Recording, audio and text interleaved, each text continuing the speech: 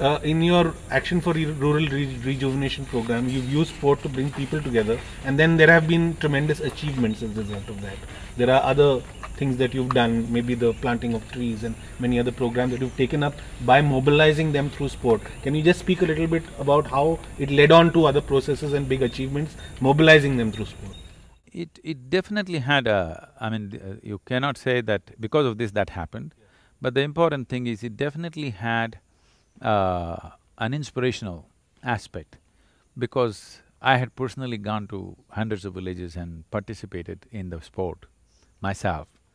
When they see me, they're alive They don't see me as a spiritual leader who can't get out of his car, he needs help, okay They see me as somebody who will play with them, who will jump with them and do things. So just that image gave me absolute access to their lives.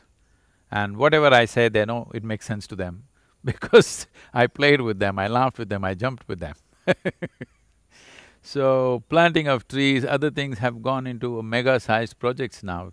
Today we have planted nearly uh, 19.7 million trees and uh, the green cover in Tamil Nadu has gone up over 7.2 percent officially.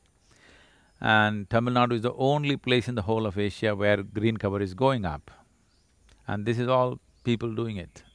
It's not like I'm going and planting things, it's just the inspiration and the know-how and the nurseries and other things we provide, but people are doing it with great enthusiasm. And the culture of the place has changed. Today the many people, if you go to a wedding in any small town or village, many people are giving saplings as a gift to the… Uh, to the guests who come. Always it used to be a coconut and sweets and you know, all this stuff. But now people are giving saplings to each other.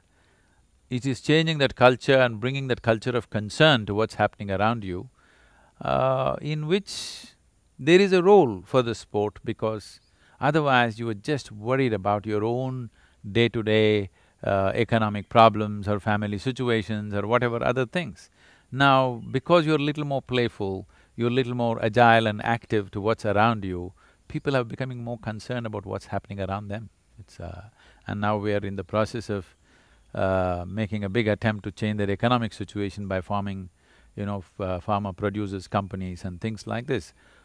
In all this, definitely the sport has a role, if not a direct role, there is a inspirational role in the whole thing.